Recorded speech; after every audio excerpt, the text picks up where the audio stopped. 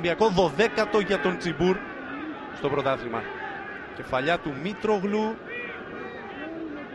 και ο Τσιμπούρ που σε κενή αιστεία δεν δυσκολεύεται να βάλει